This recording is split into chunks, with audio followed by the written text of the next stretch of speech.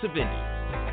Your hosts today are Beem Weeks, author, producer, and marketing monster for independent multimedia publisher Fresh Ink Group, and Stephen Geez, author, producer, composer, and publisher for Fresh Ink Group.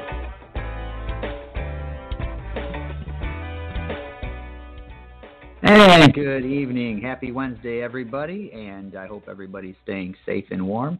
Welcome to the Voice of Indie podcast, show number 27. I am your host, Beem Weeks, and my co-host, as always, is over there, Mr. Stephen Geez. How you doing tonight, Stephen? I am just thrilled to be here. It's a fine day. We are now in the month of February, well into this year 2021, and it looks like this year's just going to stick, and we're going to keep going with it. But All right. for today's podcast, I want to remind all of our listeners out there that you are welcome to call in, talk to today's guest, razz him, harass him, make fun of him, call him out, whatever you want to do by calling 516 453 9902. That's 516 453 9902. And you can also add uh, comments or questions for tonight's guest at, on Twitter using the hashtag Fresh Ink Group. So remember to put that in there, hashtag Fresh Ink Group, and we will see that and uh, we will read your comment or your question. And today's show, like all of our shows, can be found at freshinkgroup.com from now till the end of time. Go on over there, click the podcast tab, scroll down, and look at all those pretty, colorful placards that are in there for all the different shows. I'm telling you, those placards are worth a look, even if you don't listen to a podcast. Go over there and have a look at the placards. But go ahead and click a podcast while you're there. And you can also find them on our YouTube channel. Go to YouTube, Fresh Ink Group, and uh, check them out. And while you're there, don't forget to subscribe, hit those like buttons, and all that good stuff. YouTube, Fresh Ink Group. But you can also find them at, at beemweeks.com underneath the podcast tab and stephengeez.com underneath the podcast tab. Now, when I was in there a couple of days ago and looked, we were up to 106 subscribers, and it's kind of been stuck on that number for a week or two here. So call all your friends, call your family, tell everybody at church, get on uh, social media, and see if you can help us get that subscriber count up to, you know, like 108, 109, something that would really, really rattle our world. Yeah, and while you're uh, over there, uh, on when you go to the uh, homepage at Fresh Ink Group, if, while you're over there looking at the podcast, at the bottom of the, the homepage uh, at freshinkgroup.com, uh, you can sign up for our newsletter. And uh, this is a it's a cool newsletter. We don't inundate you with a whole bunch of them, but we send them out uh, once a week to announce the podcast, the info, who's going to be the guest, and all that stuff. And uh, uh, once in a while, we even throw out uh, pod or a newsletter that deals with new releases and things like that too. So get over there and sign up for the newsletter as well. Now we're sitting here looking at Twitter right now, and we see Fresh Ink Group member Bernard Fung has been uh, out there that, today promoting tonight's podcast. We want to remind all of you, please help us do that. We put these things out uh, through five different Twitter accounts: Fresh Ink Group, Stephen Geez, Beem Weeks, Voice of Indie, and uh, uh, Geez Writer at Geez Writer. Plus, we have some friends who we help manage their accounts, other Fresh Ink Group members like Doc Shearer, Mark Allen North One, Larry F. Hunter. Uh, anytime you see any of these podcast promos, please retweet them. We've got them going out on uh, several Facebook accounts, several Instagram accounts, and of course, we try to blanket Twitter right up to showtime. Yeah, and speaking of Twitter, Wayne Greenhow is out there already. He said, uh, harass, harangue, sounds like going to my in laws. okay, tonight's guest is author and writer coach Matthew Harms. Uh, Stephen, you want to tell us a little bit about our guest? Matthew Harms is a coach, author, screenwriter, and professional ghostwriter. As a coach, he works with both aspiring and established writers who want to retain control of the creative process but need a different perspective to help push past barriers and achieve their desired literary outcome. In the role of ghostwriter, Matthew mainly partners with successful business leaders who are seeking to become more of an authority in their specific industry by conveying their knowledge and expertise in the most compelling way possible. He also has a passion for working with professionals who have a message of growth or inspiration, but lack the time or ability to effectively relate it in writing. And with that, welcome to the show, Matthew. Uh, welcome to Voice of Indie. Thank you guys so much for having me. And would you do you have anything you want to add to that bio? Something uh, Stephen might have forgot? Like where you're from? um, yeah, I mean, where are you from? That, I think sounds like he's got my DNA samples, but uh, I'm originally from the Bronx, New York, and uh, right now reside reside in Westchester County, um, right north of the Bronx. So you know, took that giant leap and moved up in the world. Ooh. So you're right there where all that snow got dumped. Why don't you share a little bit about that? How how much snow are you looking at out there right now? Uh, it was about 21 inches at last count. Um, considering how much I had to shovel, I easily shoveled myself out of a snowy grave. yeah, that was going to be my question: shovel, snowblower, or condo? um, no, no, definitely not a condo. And every year I joke that I should get the snowblower, and I refuse because we had a power outage during Superstorm Sandy. Um, oh my goodness, probably eight nine years ago now. We bought a generator right afterwards, and then never lost power again. So I figured if I buy a snowblower, the same thing will happen. And now I'm starting to wonder, even if I do that and never use it, it's probably still a good investment. Yeah, yeah, definitely. So, are, are you a, a lifelong New Yorker? I am born and raised in the Bronx. Um, traveled a little bit. Always said I would never leave. After this last snowstorm, that that may have been the straw that broke the uh, the New Yorkers' back, and I, I am looking for sunnier pastures. But for now, born and raised in the New in New York. Well, you know that's the thing about a snowblower is not only is it you know quick and efficient for helping clear your area, but you can be very popular in your neighborhood if you like get the old lady across the street or the uh, the people next door who work two jobs and all that. It only takes a couple extra minutes just to run a little further down that sidewalk, and then everybody will bake you things and bring you presents and thank you and just think that you're the best thing since sliced bread or shirt pockets. You know, in theory, that sounds very, very uh, plausible, except where I live in Yonkers, it's known as the City of Hills. Most of my neighbors, you couldn't operate a snowblower on their property if you wanted to. It, it's all Ooh. manual. Wow. Wow. So uh, that still doesn't give me an excuse for why I don't have one. I actually have a level driveway and I still shovel it out by hand.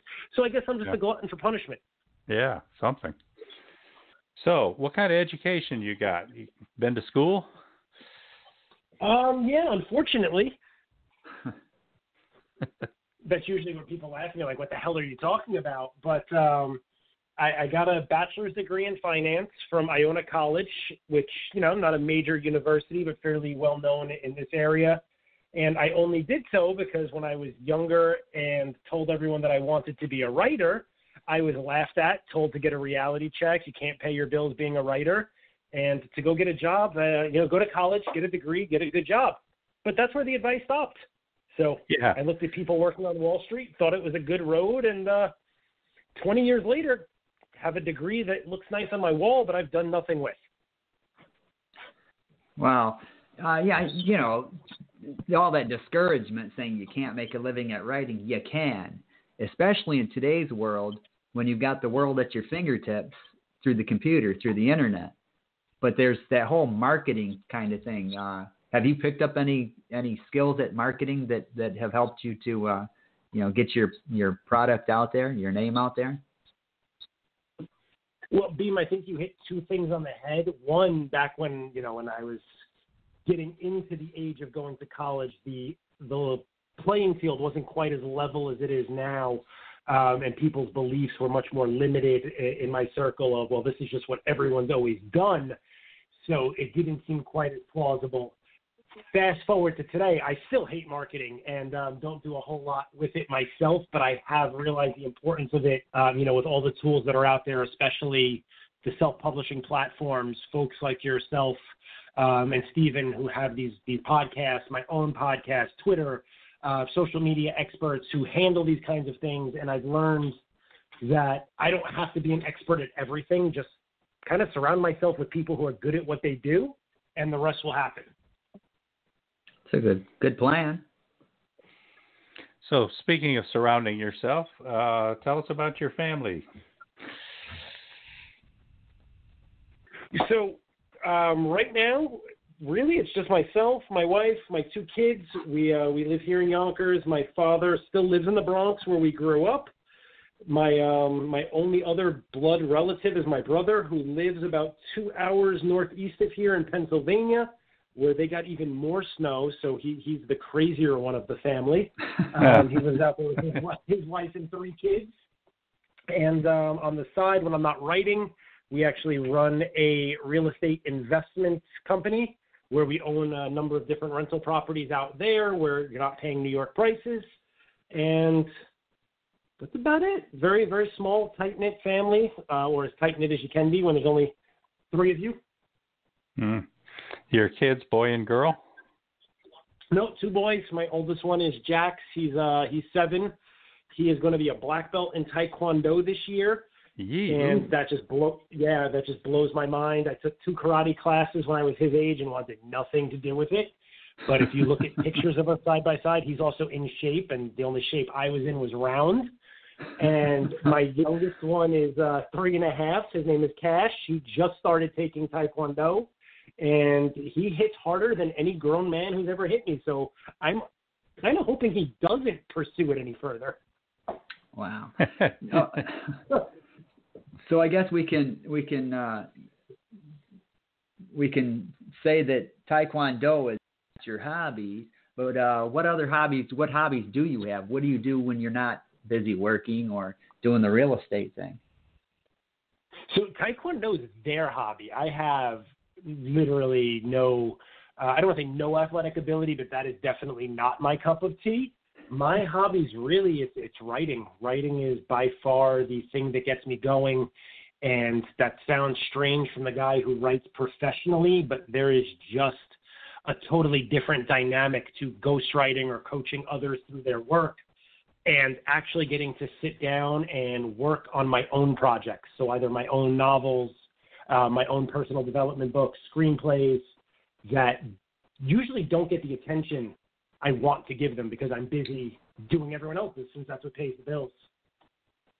Yeah, um, I, I, I can I can uh, understand that with the ghostwriting. I've I've done uh, a I ghost wrote a one project for somebody, and uh, it's nothing like writing my own stuff um, I, I don't see, see that as a hobby. For me, that's you know, writing is breathing. It's it's I've got a I got things in my head that's got to get out. So it's it's not really a hobby for me. But uh, yeah, yeah. The the, the dynamics yeah. of ghostwriting is is definitely different because uh, you're telling somebody else's story and it's got to follow you know their route and uh, yeah, it's it's definitely different.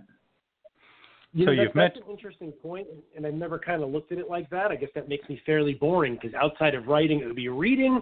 Um, and, and at one point, you know, the game Civilization was was a giant hobby of mine until I realized a bit of a problem. So I just went back to writing and reading. So, what other kinds of things are you doing for generating income? I've I heard you talk about a couple of things when we talked yesterday, besides being a heartless landlord. you know, I'm not even going to touch that one, Stephen, because unfortunately that, that seems to be the narrative that those in power tell. Um, but that, that's really not the case. We're going to leave that one alone. I also am a licensed real estate agent here in New York, so I do help other first-time home buyers um, and, and other people looking to buy or sell their homes realize that dream. I recently started a financial service company because if the 20 years I spent suffering in finance and banking wasn't enough to make me realize that I was crazy, I decided now that I don't have to do it, why not just go back and do it because I can. So I did that recently, a partner um, and myself, who I do real estate with, and that's gotten off the ground fairly successfully. And now that I'm sitting here saying all this, I'm like, wait, when do I have time to sleep? And I'm like, oh yeah, that's right, I don't sleep that much. Yeah. So uh, whom and that's probably whom why do I couldn't answer. That's probably why I couldn't answer Dean's question about a hobby because I, I really need to make time for a hobby. So whom do you answer to? Uh, right now, nobody. Uh huh. Although, one correction, I do answer to my ghostwriting clients uh, and their deadlines. Outside of that, nobody. So you like being your own boss, doing your own thing. I do. I do. Um, you know, I, I disparage the 20 years I spent in the corporate world a lot, but I will say that nothing is a waste of time. And the one thing I learned uh, from all of that time was that I cared way too much about things that made other people money and made other Yep. people successful and sleep well at night. And finally came to the realization of if I put only if I put half that effort into doing something for myself, there's no way to fail. Ah man, yeah, you're speaking my language. I I've been that route too. Uh, caring, caring, and looking just just to do a, a great job, and it's making other people money, and I couldn't even get a raise. You know, I'm I, I remember asking uh, even for like a fifty cent an hour raise just because you know I asked for a couple of dollars and they turned that down. I said, well, anything, fifty cents. And well, we're not in the position to give any raises right now. And that's when I decided I was going to start looking for something different, pumping all those years into this place and helping them make money. And it's, you know, they weren't looking out for, for the little guys there, but they were sure using us for, for, you know, their purposes. Uh, we do have, you know that go ahead. I'm sorry. I was to say that that light bulb went off for me in a similar situation when I got a performance review and I was a top ranked producer in the market. You know, like top five percent of 200. Um, you know, every category you can imagine, I was just in the top. And my performance review came around. Anyone who's worked corporate knows. Usually, everyone falls into the meets expectations. And when I put up an argument of I, I couldn't at least get a high meet. And I was given examples of, well, you know, to get a high meet, you, you could have possibly cleaned the toilets or shoveled the snow from the front of the bank. That's when I realized that this wasn't going anywhere. yeah. Yeah. Uh, we, we do have a, another comment from uh, Verwayne Greenhoe on, on Twitter. Um, he says, as if the writing process wasn't enough, the process of promoting, holding auditions for Audible, and all the rest of the circus can be a real balancing act. And I agree. Uh, the the what you were talking about, Matthew, about the uh, the marketing that you hate that, uh, and that's the most important aspect of it. The writing part for me is the easy part, but that that marketing, promoting it, and all that, it's trying to find what works. Where's the silver bullet? And you spend a lot of time on just on that stuff, and it it can be a drag at times, and it can be real frustrating, and it can depressing. Yeah, you on Twitter. 1,000, you are 1,000% correct. I, I would rather lock myself in my office and write you a thousand pages before I'll send 10 tweets. Hmm. Yeah, Robert Williscroft over on Twitter is adding marketing. What's that? And you got another comment from Verwayne Greenhoe too. He's saying my wife and I are looking at moving back to Florida. All the snow we have had lately has convinced her that while it may be beautiful here in the summer, winter is for serious Yoopers only. Yooper, as in uh, Upper Peninsula of Michigan. She thought she was serious, but 30 inches of snow has changed her mind. Yeah, yeah. Um, tell him, please let me know if he's able to accomplish that and how he did it, because I'm right behind him. yeah, definitely. Yeah, and then Beem, you want to get Robert's other comment? Uh, sure. Uh, he said, uh, Robert Williscroft says, I thought you were married. I think you report to someone every day at, at least. okay, before we go to our first commercial, one one last thing about your uh, uh, what you've been doing here, uh, Matthew. Uh, I heard you say something about your approach to clients. You like to under promise and Over deliver. I like that. Under promise and over deliver. Okay, this commercial that we're going to play is called Princess Lil. It's a chapter book for children. Those of you who are regular listeners, we had its author, Nell Cooper, on our podcast a few weeks ago. We just made, uh, during that show, we promised her we would make a video about the book. Well, we have, and it's now up on YouTube. Go to the Fresh Ink Group channel and look for the Princess Lil video that was just put up there. and uh, we're going to hear just the audio portion of it right now. Princess Lil is a sad pony. Her little girl grew up and went away. Now Lil is in a scary place with lots of mean ponies. A fun furry farm cat called Taffy and a nice roan horse named Pearly try to help. It even looks like Princess Lil might have a chance to cheer up special needs children too, but she is already too hurt and too sick. Princess Lil is about the differences between loyal friends and those who bully others. It shows the power of caring about ourselves and the people who look out for us. Is it too late for a sad pony in a scary place?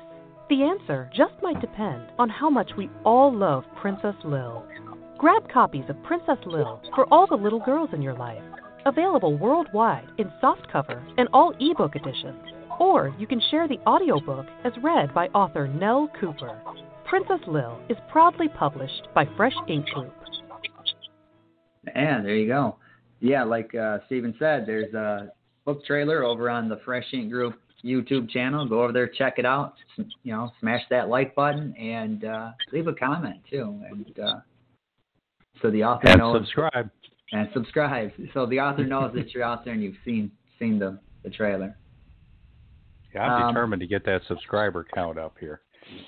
Yeah, I mean, you know, it's we're trying to build something here, so that's the next step. That, that falls Another into- brick. That falls into that marketing category we were speaking about, right? Yes, exactly. uh, now let's change gears and get into your actual writing, uh, Matthew. You you do quite a bit of different stuff: screenplays, nonfiction, fiction, ghostwriting. Uh, tell us a little bit about some of the stuff that you've written, uh, and uh, um, kind of the, the, a little bit of the background of that. Yeah, like maybe how you got into essay writing way back in the day. yeah, tell that story. So, I guess I'll, I'll try to give you the Reader's Digest version of how I wound up here by filling in the blanks. So, as I mentioned, I, I always wanted to be a writer from the time, even before high school. I would, while everyone else was out playing or, you know, video games were coming out, I would write in my notebooks. Um, looking back on it now, they were probably terrible, and I'm glad I can't find them. But as I got into high school, I realized I, I had a knack for just delivering messages. And my senior year, I made a business out of writing term papers for other people. I'm pretty sure I'm past the statute of limitations that they can fail me uh, or get me. So I- I'm going to, you know, openly admit this. And out of a class of 20 in my senior year film class, I think I wrote 16 term papers. 15 of them all got B's or better. I got a D. And the reason I got the D was because I wrote mine three o'clock in the morning the day before it was due, since I was the only non-paying client and clearly put myself last. Then- so my parents weren't happy about the D, but they didn't seem to care that I wasn't asking for money that month. That uh, that didn't seem to shift the the belief. I caved in, went to, you know, got that finance degree we spoke about. Fast forward 2018, I decided I was done. I couldn't take banking anymore. I was interviewing all of these people who had no life skills, and I felt so bad for them. So I wrote my first book on the suggestion of one of my best friends, my, my kid's godfather, um, and a, and a co-manager who was like, why don't you write and tell them what they're doing wrong? So the book employed started out as just a how to interview guide, and it quickly morphed into well, no, before I even teach you how to interview, let me make sure that you're aware of that you even want to interview for this job. Make sure that this is something you want to do. So it became a manual of figure out what you want to do before you apply for a job. Then, if you're really sure you want to do it, here's how you interview skills. Here's how you follow up. Be memorable. Um, I published it, quit shortly after, not thanks to book sales because I still don't have that marketing piece down. Uh, but right after that, I put out Grow Up, No Really, which was kind of, of a follow up to my anti schooling because I wasted all of this money on a finance degree and they didn't teach me how to balance a checkbook, how to understand a car lease, how to negotiate an apartment. All of that I learned on my own. So I put all of these real life concepts that school doesn't teach you into Grow Up. as that was going on, I had other people approach me like, "Wow, you, you're pretty good at conveying the things you learned. How can you help me do that?" Um, next thing you know, the ghostwriting was born, and I revisited a file on my computer that I stopped writing once I got into my junior year of college because that that life took over, uh, which was a fiction novel about a religious fanatical serial killer. I swear, no relation to my own life. We're just going to leave that one there. um, and I published that on Amazon in October of this year.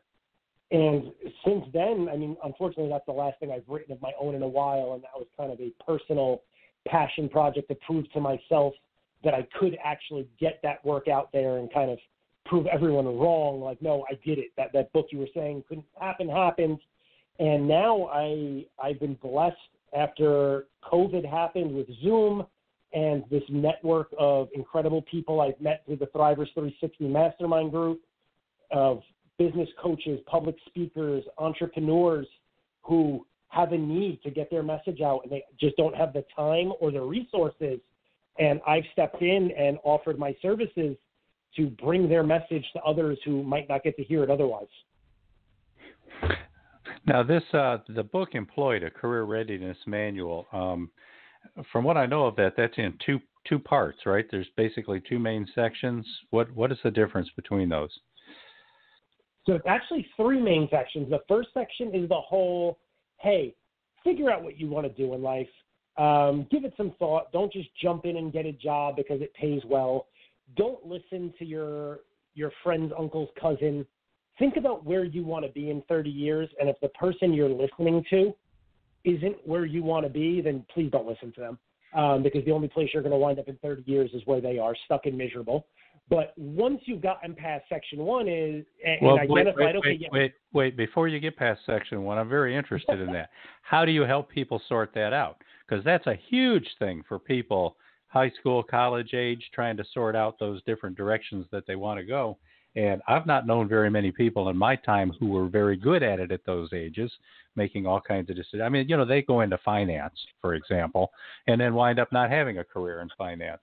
How do you help people sort all that stuff out? I mean, do you have like worksheets, exercises, uh, things to, to go through? You ask them questions. Uh, what, what's the process?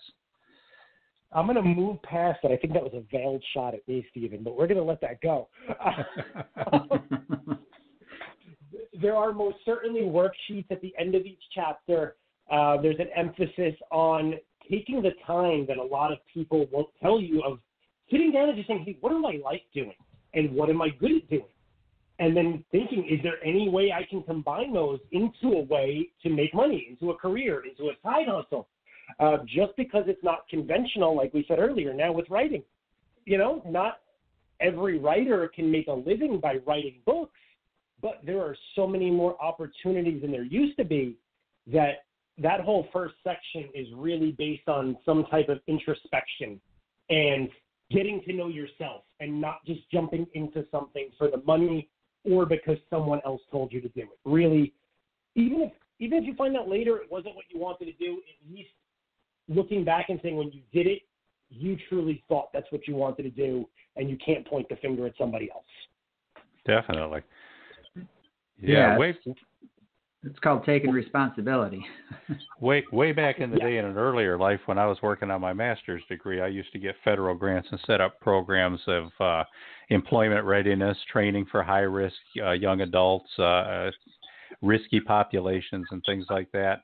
And we found that that part of the process is one of the trickiest of all, and that you can't just focus on the career. You got to focus on the person.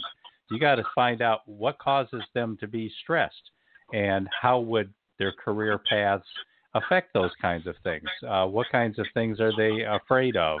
What uh, what would they most like to accomplish in their personal lives that maybe their professional lives could help them do?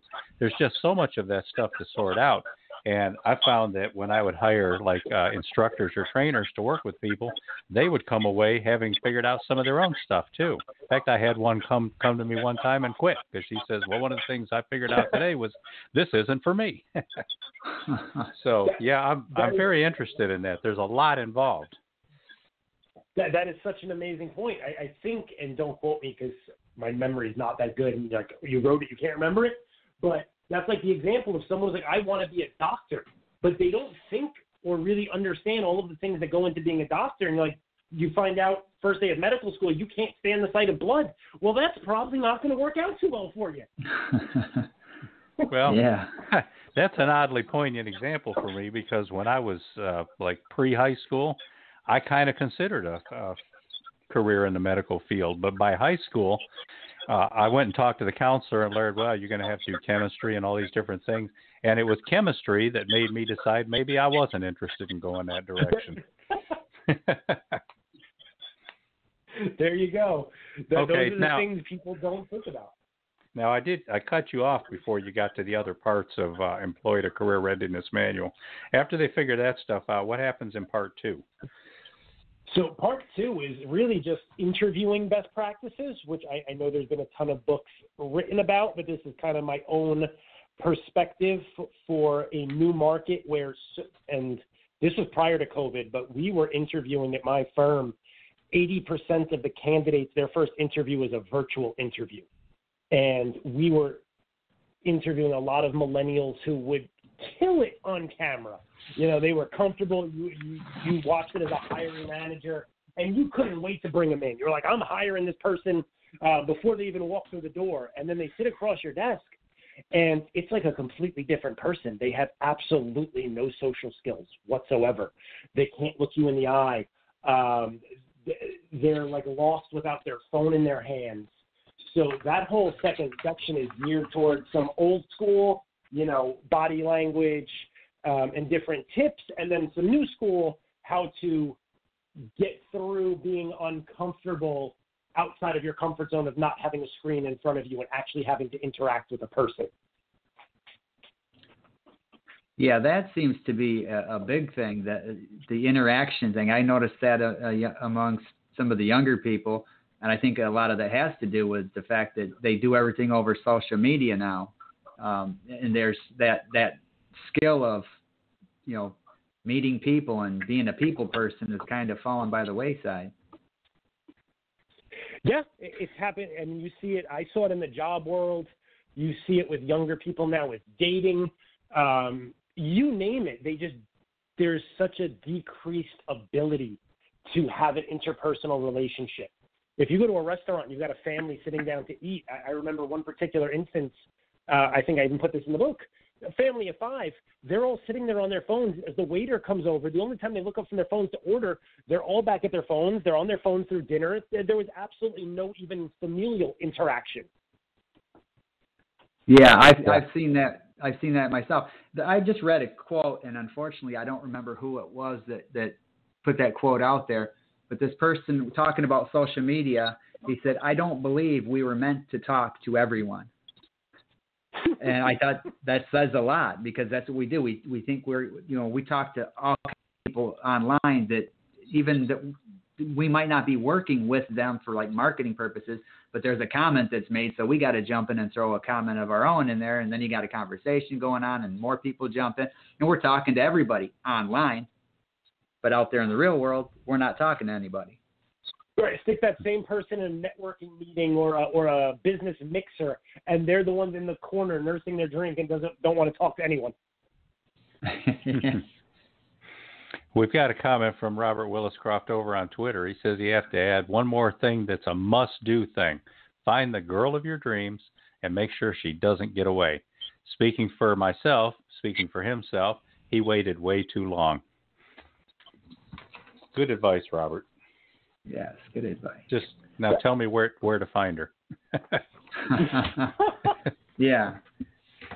Well, she's not going to want to talk to you in person, Stephen. So you got to meet her online, I guess. That's yeah, the way yeah. they do it now. All right, let's interrupt for another quick commercial and then get back and we'll talk to Matthew about his next book, Growing Up No Really. This commercial is about one of my favorite books by co host Beem Weeks called Jazz Baby. All right, thanks. While all of Mississippi bakes in the scorching summer of 1925, sudden orphanhood wraps its icy embrace around Emily Ann Baby Teagarden, a pretty young teen. taken in by an aunt bent on ridding herself of this unexpected burden. Baby Teagarden plots her escape using the only means at her disposal a voice that brings church ladies to righteous tears and makes both angels and devils take notice. I'm going to New York City to sing jazz, she brags to anybody who'll listen. But the Big Apple, well, it's an awful long way from that dry patch of earth she's always called home. So when the smoky stages of New Orleans speakeasies give a whistle, offering all sorts of shortcuts, Emily Ann soon learns it's the whorehouses and opium dens that can sidetrack a girl and dim a spotlight. And knowing the wrong people can snuff it out. Jazz Baby just wants to sing, not fight to stay alive. Jazz Baby is available now in dust jacketed hardcover, softcover, and all ebook editions worldwide. Jazz Baby by Beem Weeks is proudly published by Fresh Ink Group. Yeah, and I just want to add in there if you want to get a good deal on the the hardcover, go to Barnes and Noble.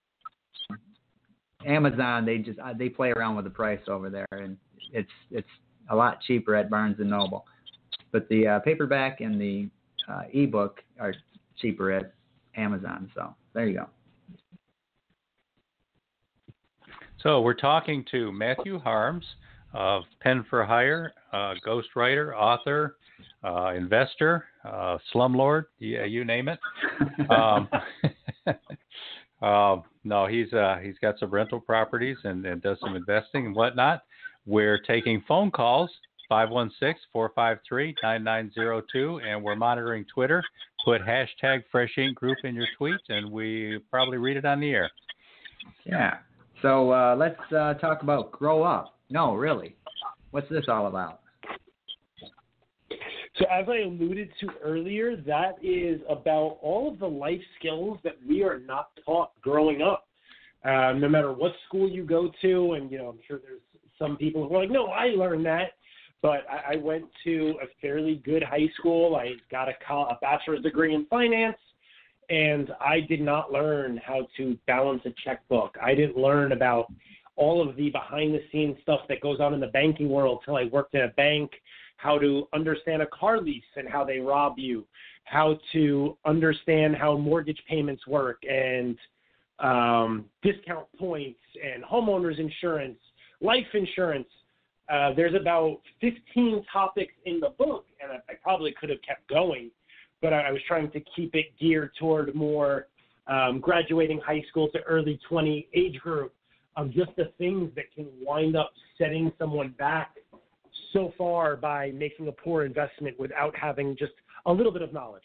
You, you didn't need a high level master class, just knowing, you know, the difference between putting down a few extra dollars on your mortgage every month or not leasing a car instead of owning it because you'll never be out from under a car payment.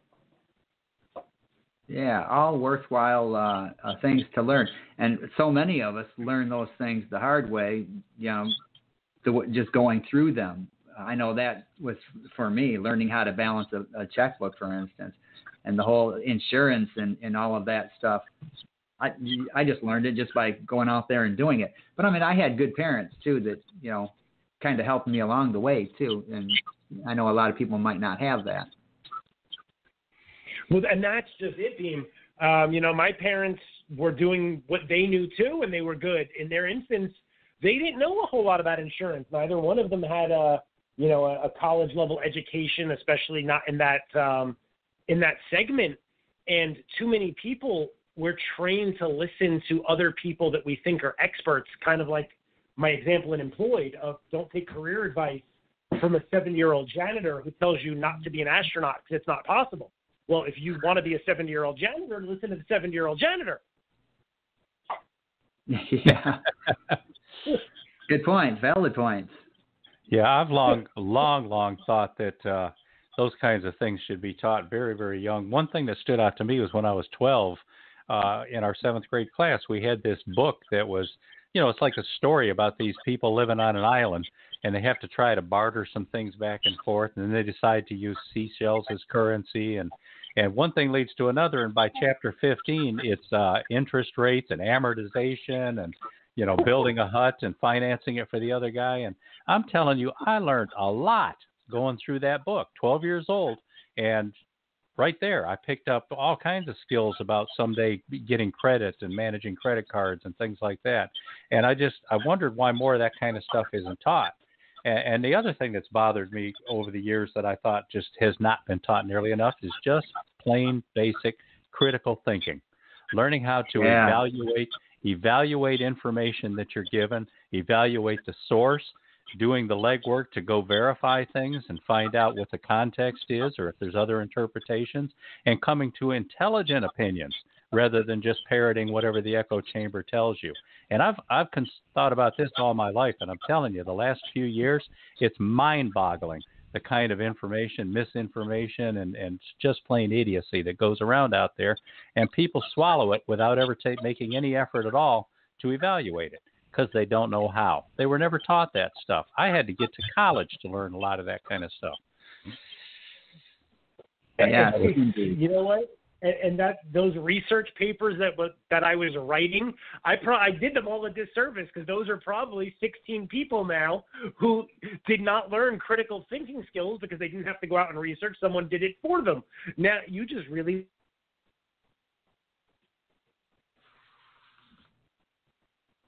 Okay. You there, Matthew? Did we lose you, Matthew? You dropped out.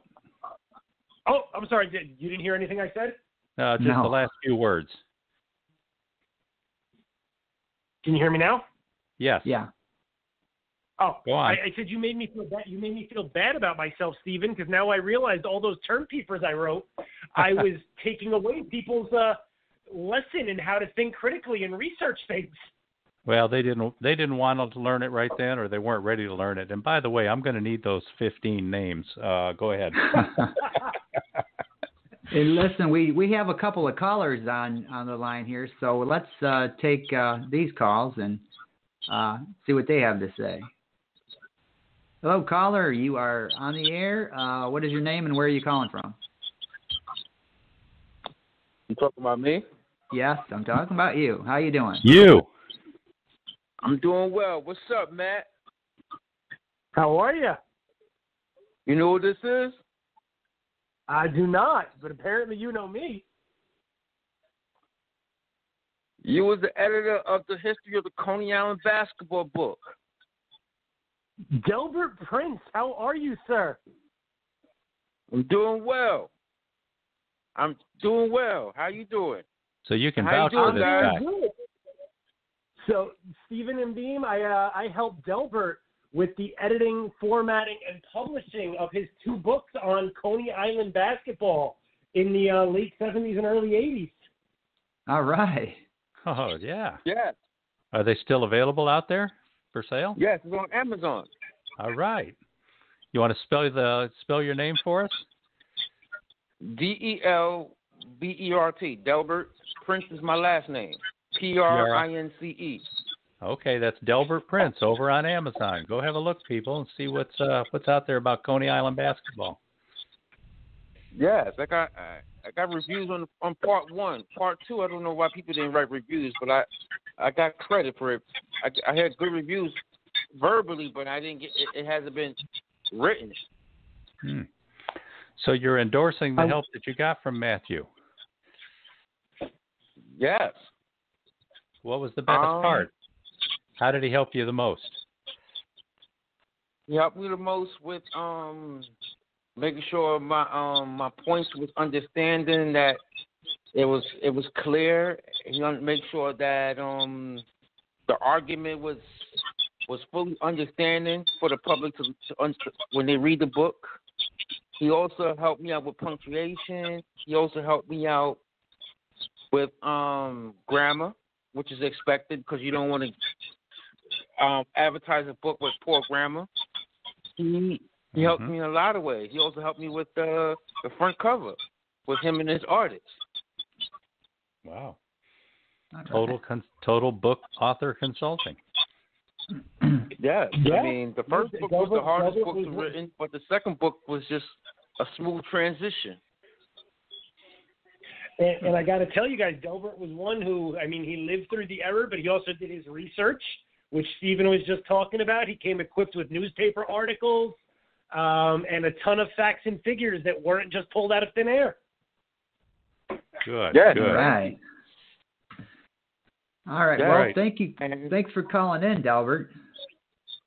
you're Yeah, welcome. And um, I want to let you know that um, I have a comic book coming out in in April. Oh, Okay. We need to hook Tell hook us a little more about that then. Louis Cruz, our uh, Yeah. member. Okay. Um, it's called Coney Island Mix. It's um, it's mostly it's, it's the point of the the comic book is going to talk about what um players in Coney Island playing basketball against each other during the daytime, and I also created superheroes who's going to fight enemies at night. It's a 46 page comic book. All right. April, Oh. huh? Yes. And that'll Okay, be on Amazon be- as well. Yes. Mark your calendars, people. Okay, we got to Yes, move on to the next caller. All right. Thanks, Delbert. Nice talking to you, Delbert. All right. We'll we'll have you back next week calling in again, right, Delbert? Yeah. Yes. All right. See you then. Thanks. Thanks, Delbert. No problem. All right. Uh, here we go. Next caller. Hello, caller. Uh, where are you calling from, and what's your name? Um, am I on? Yes, Yes. you're on. Okay. Okay, this is Nell Cooper. Hi, hi Nell. Hi, now. Yes. Hi, and I just wanted to say how much I'm enjoying the energy of of the interview. It's it's really fun. It's really positive. Um, just wanted to, to make a statement to really encourage people to consider Toastmasters International. You talked about marketing and learning the skills of public speaking. Ninety percent of learning those skills is learning to listen, and all of those things are such wonderful contributing factors to writing. So I just wanted to put in a boost for Toastmasters. Oh, excellent advice. Excellent. Yeah. And, Every And you're time right. I go to a, every time I go And- to a and you know writers conference, they talk about go to Toastmasters. Yeah, Well, good. Nell is absolutely correct. As a ghostwriter, one of the hardest things uh, really is listening and not so much the writing because we, we have to pay attention to everything that the client is saying and not just what they're saying, how they're saying it, and how they intend it. Um, that that is the basis of every good argument, every compelling story. So I, I completely agree with her. Thank you. yeah. Thanks, Nell. You're welcome. Have a good night. All right, you Thank too. you, now. Okay. So I think uh, it's time time to roll one more commercial and then uh, come back and talk about pen for hire. and for hire. Yeah. Okay. And this this one this one would be uh, Fantasy Patch. Announcing from Fresh Ink Group by acclaimed author Stephen Geez. Fantasy Patch. Picture this. Dante Rowan creates ad campaigns, reveling in the fine art of rendering his concepts on million dollar canvases financed by big budget clients. Intoxicated by the sheer power of directing public opinion, he dares wage war against the conglomerate behind a worldwide antidepressant increasingly associated with sporadic violence. To juxtapose his images with reality, he enlists a mixed palette of business tycoons, his fiancee attorney, a team of corporate spy soldiers of fortune, one resurgent news anchor, and the best TV production crew in all of Chicago. But the sharp lines dividing perception from truth begin to blur when the darker motives shaping mass media come to light. Forced to re examine the ethics of designer pharmacology, Dante is painted into a corner, his future about to be erased as patients die, clients lie, and unhealthy doses of murder prove too hard to swallow. Too late to whitewash the stain of deceit, Dante must decide who deserves to appear in his picture. The true subject, an unfinished self portrait, way past its own deadline. It's not what you see, not what you get. Let Dante show you how. With a fantasy patch. Read Fantasy Patch now in print or ebook, available worldwide. proudly published by the Fresh Ink Group.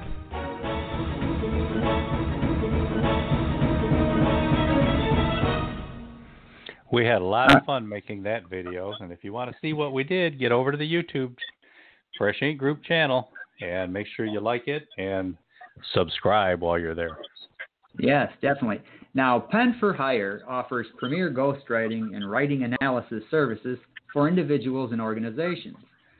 They specialize in working with business owners and entrepreneurs who want to increase the value of their brand by having a book or other compelling content that endorses them as an industry leading expert in their field. Pen for Hire also helps published and aspiring authors take their work to the next level or get to market for the first time. So, Matthew, tell us a little bit about this. so, the concept actually has been evolving for about two years now. Um, and as you heard from Delbert, who called in earlier, when I started Pen for Hire, I was more geared toward a product based outcome, which was hey, you wrote a book or you got all of the bones for a book. I'll help you put it together. I will go over it for plot, argument, you know, context, grammar, everything he mentioned, and then some. Help you format it, package it, get a cover done, and we'll publish it. And as time went on, I realized that I'm not so much driven by the product, but the process. So I started taking on projects that required a lot more work than just editing and formatting. More of, hey, I have a half a book written. Where should I go from here? Or I have an outline. What are your suggestions? And that grew to what it is now of I work with clients ranging from they have an entire book outlined and they just want someone to put the meat on the bones, or they have an entire book in their heads and I spend a couple hours a week extracting it on Zoom, transcribing it, putting it in their, you know, in their own words and rearranging it so that that knowledge comes out in an effective, compelling written way as opposed to just a verbal diarrhea brain dump. Yeah. Yeah, I know a lot of of uh, people who, you know, they know I'm an author. They've never written anything, but they'll, that's what they say. I've got this book in my head, this great idea for a book. You know, the first thing I tell them to do is sit down and and uh, outline it, how you want it to go. Don't sit down and write the story right now. Outline it and play around with that, and then you start the, the writing process. Uh, there's a, a woman uh, at my church who wants to t- uh, write her mother's memoir. Her mother has recently passed away, and she wants to tell her mother's story. How do how do I go about doing that? She asked me Sunday at church. so, so I told her outline it, and uh, you know once she's got her outline done, I said I'll take a look at it. But uh, yeah, I mean this is your website. This is something that's needed because there's a lot of people out there like that. And a lot of these experts, they just don't know how to package themselves either because now an expert has to have an entire platform. They've got to have that mailing list, the, the people that they can send their newsletter to. They've got to have not just the book, but even the workbook that goes with the book so that they can hold seminars or, or online webinars and things like that. It's, it's all about integrating it, putting it together, and starting to build that audience for their message and then creating whatever media goes along with it. They're going to do presentations, they might need a video to go with that. And all of that has to be pulled together by somebody like Matthew. And I'll bet you that's quite a daunting task with some of these people, isn't it, Matthew? Oh, it most certainly is. And I'm not going to lie, Stephen, it's a daunting task for me as well. Um, as I mentioned earlier, I don't pretend to be an expert in social media or in many of these other areas you just mentioned. I don't even pretend to like them. Um, but what I am good at, at is surrounding myself with folks who are good at it right? So yourself and Beem with Fresh Ink Group. Um, I have cover designers, editors, social media specialists who work just with authors, public relations. Um, I have Jennifer Wilkov, who uh, her book is called Your Book is Your Hook, and she specializes in book launch. And I let my clients know up front that we have a very detailed onboarding process. And some of the first questions are what do you want to get out of this? Who's your audience? Um, what is your goal? And then we set a strategy up front like i'm going to do the writing but if you're looking to sell a thousand copies in the first week and become an Amazon bestseller, you need to have these other pieces in place, and these are things you need to think about. And I guide them through that whole process, and, and I kind of give them that warm handoff and introduction to the right people. But I've I myself do not pretend to do it all, and I honestly think any ghostwriter who says that they can write it, edit it, market it, package it, um, if they can, there's somewhere they're not doing it as effectively because we we all have our strengths. We all have the things that we do best, and I've yet to meet anyone in my life who can do every aspect of anything at the highest level. Yeah, yeah. I've talked I've talked to a couple of authors who who are trying to put together their their uh, expertise platform too, and sometimes they act like, okay, I'm just going to tell you some stuff, and then you're going to do all the work, and that doesn't work. the authors the author's got to be roll up the sleeves, uh, roll up the pant legs, take off the shoes and socks, and wade in, and get right up in there in it and work with you. Um, I'm glad to, we got to meet Delbert. And again, Delbert, thank you for calling in, and we're going to look for you to call again next week. Uh, can you give us a shout out for another client or two that you got an example, somebody that you'd like to tout and put a name out there? Um, well, I mean, my recent project that I finished is with a very good friend and colleague, Joe Rojas from Red Sapiens, uh, also Helix Systems. He's a business coach and tech evangelist. And he came to me with a book half written, right? So I tell everyone there's there's no one size fits all in ghostwriting. And this is his second book. He wrote his first book on his own, but his business has hit such a level that he just didn't have the time or the resources to get it out by the date he wanted it out. Um, and he and I worked together. We we set a deadline, and like you said, Stephen, there were realistic expectations on both sides. And one of the hardest parts as a ghostwriter is holding your client to task, and the guy who paid you. Um, and you're calling them, not asking for money, but calling them saying, "Hey, did you did you do your end? Um, I, I need you to finish reading, or I need you to do this." In order for us to meet our deadline. And we we pulled that in right under schedule. He's thrilled. He's referred me uh, to more people than I can count right now. Other um, successful business entrepreneurs, people in the tech field who have been featured in dozens of magazines. Um, the newest client I just took on does 130 speaking engagements a year, but never thought to put a book out because it's just not his strong point. So now I'm helping him take all of that information that he talks around the country 130 times a year about and put it into a book. Great. Is that Rojas, R O J A S? Yes. Uh, tell us his name again. Uh, his name Joe Rojas, J O E Rojas. And that's how he's that's how he's billed. If people want to get out there and look for that book, and uh, maybe even Correct. see if they could attend one of his seminars, Joe Rojas. Terrific. Yep. Now, listeners, yeah. I want to point out that uh, obviously Matthew knows what he's doing. Uh, if he hasn't established some credibility by now, then you're not paying attention.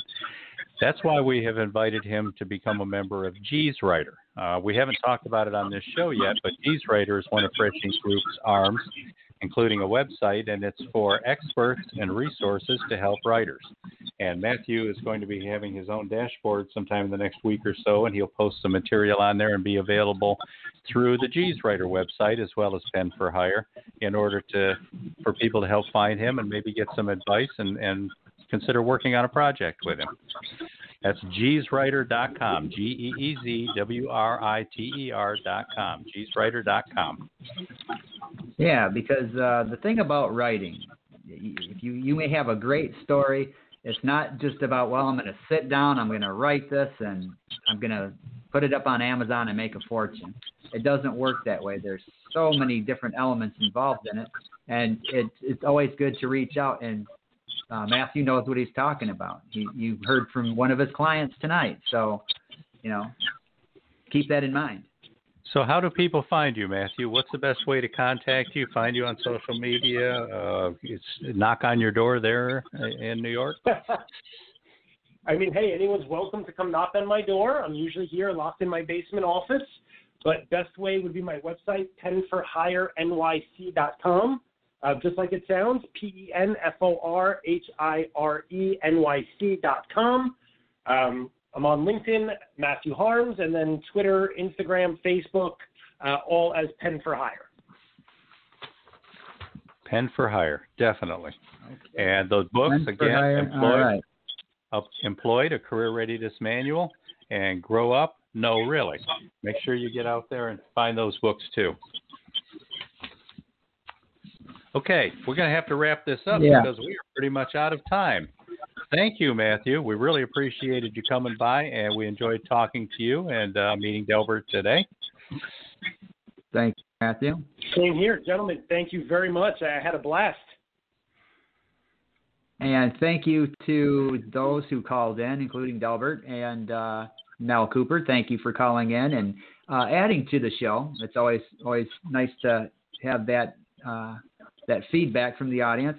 Thank you to uh, those on Twitter as well, uh, Verwayne uh, Greenhoe and Robert G. Williscroft, uh, two excellent writers in, of their own. So go out and look for them on Amazon as well. And uh, don't forget to go to the YouTube channel, subscribe, uh, go to the Fresh Ink Group website, and at the bottom of the page, you can subscribe to the newsletter and check it out. Great. We've got an invite out for next week's guest, but we haven't confirmed yet, so we're going to keep that a secret for now. We're about out of time. Thank you, Matthew, and we'll see everybody next week. You got it. Thank, Thank you, everybody. Good night.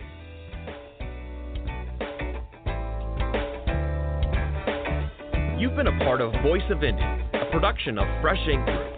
Spread the word, support our guests, then find us at freshinkgroup.com and be sure to hashtag Fresh Group.